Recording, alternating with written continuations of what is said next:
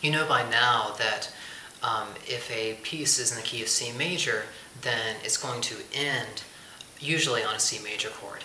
And likewise, if the piece is in whatever, E minor, then it's usually going to end on an E minor chord. Um, the reason for this is because you usually want a sense of completion, a sense of finality at the end of a piece.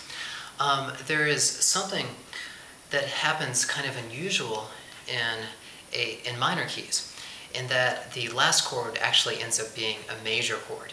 So for example, if we look at this, got our, our nice 5-1 progression, usually we would end with a minor 1. But every so often, you'll see it end with a major 1 chord. Okay? When it does this, um, this is called a Picardy third. Okay? And it, it only happens in minor keys.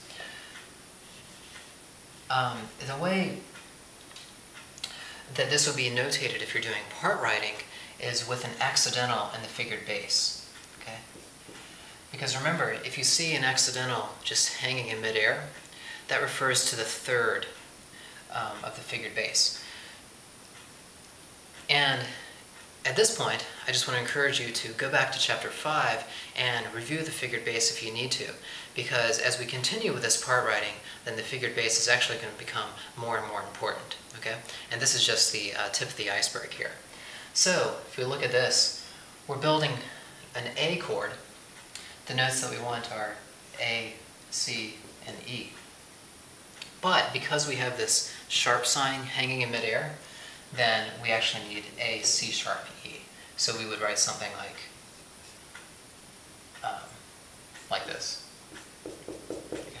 And that would give us our major one chord at the end of this uh, chord progression. Um, it's uh, kind of quirky and it definitely has an unusual sound. Um, so take a listen and do a little practice with this, and then we're going to talk about a few more new things in the next lessons.